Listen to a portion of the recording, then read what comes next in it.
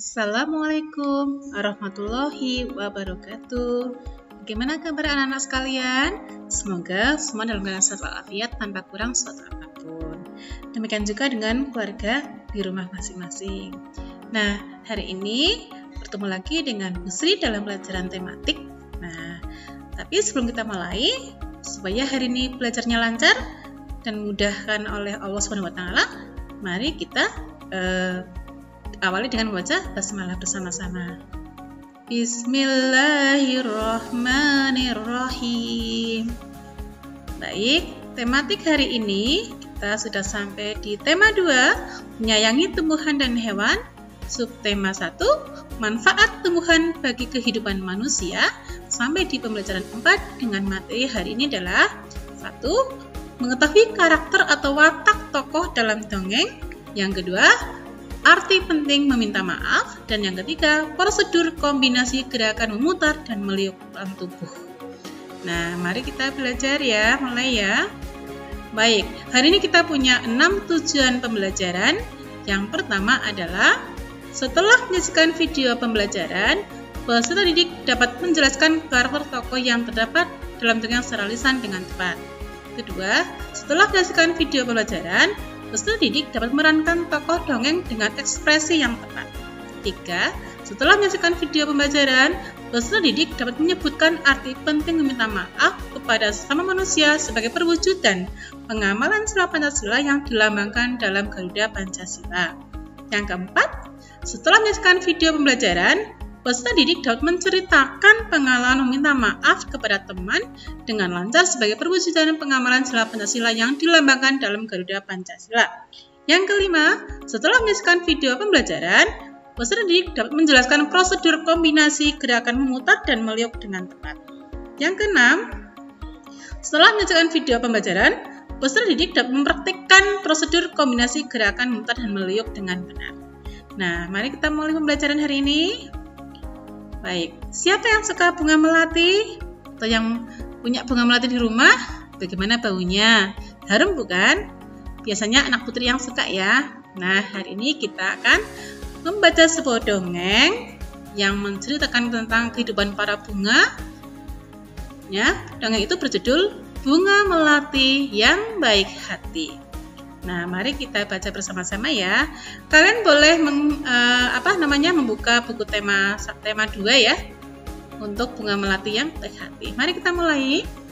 Di Taman Bunga Kerajaan tumbuh berbagai macam tanaman bunga yang bunganya sangat indah. Para putri senang sekali memandang dan menciumi bunga melati. Hal ini menimbulkan kecemburuan dari bunga-bunga yang lain. Putri satu, Wah, indah sekali bunga-bunga di taman istana ini Putri dua, Hai, lihat bunga melati itu. Warnanya putih bersih dan harumnya semerbak memenuhi taman ini. Putri satu, Hmm, aroma melati memang harum. Aku sangat menyukainya. Berikutnya, Bunga sedap malam. Aku tak habis pikir mengapa para putri suka sekali dengan dirimu. Bunga anggrek. Iya, padahal dirimu berbunga kecil, berdaun besar, dan berbatang keras. Bunga warna biru. Walaupun engkau harum, namun mudah layu jika dijadikan pajangan di vas bunga. Karena pasti akan terlihat jelek sekali jika sudah uh, sudah layu dipajang di sana. Bunga melati hanya diam dan tetap tersenyum. Senyumnya yang manis membuat keharuman dirinya semakin merebak. Udara di taman bunga kerajaan bertambah wangi dan bertambah banyak kumbang yang datang. Kedatangan para kumbang yang bertambah banyak membuat semua bunga di taman bunga kerajaan menjadi senang. Mereka pun sibuk menyapa para kumbang dan eh, mempersilahkan mengisap sari madu yang ada pada setiap bunganya. Para bunga tentu tidak akan bisa berbunga lagi jika tidak ada kumbang yang datang dan menghisap sari madu mereka. Bunga semalang dan bunga yang lainnya kini telah mengerti kenapa bunga melati sangat wangi sekali. Bunga-bunga yang lain meminta maaf kepada bunga melati atas perasaan cemburu mereka. Kini mereka mengakui bahwa keberadaan bunga melati itu justru harus disyukuri. Bunga sedap malam. Ternyata aroma harummu mengundang para kumang datang. Tanpa dirimu, taman ini akan sepi dari kumang-kumang. Maafkan aku, Melati.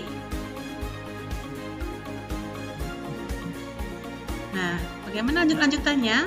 Bunga anggrek. Aku juga meminta maaf Melati, selama ini aku iri padamu. Ternyata keberadaanmu sangat bermanfaat untuk kami. Bunga mawar biru.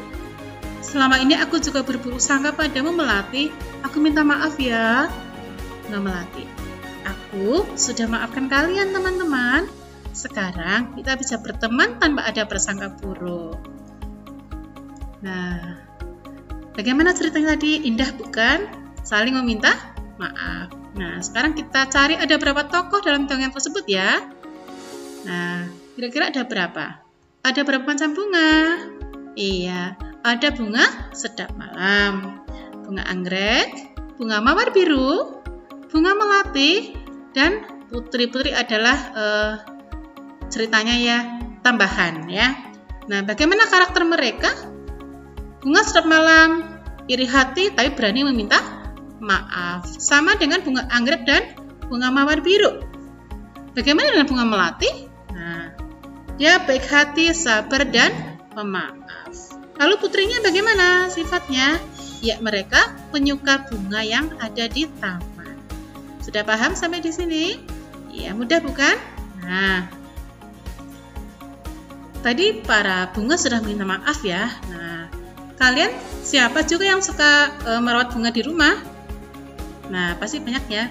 Apakah punya pot e, yang berisi bunga-bunga? Pasti ada ya. Nah, ceritanya nih dengan Dayu. Ibu Dayu dan Dayu suka merawat bunga di pot. Tapi suatu hari Dayu memecahkan pot bunga.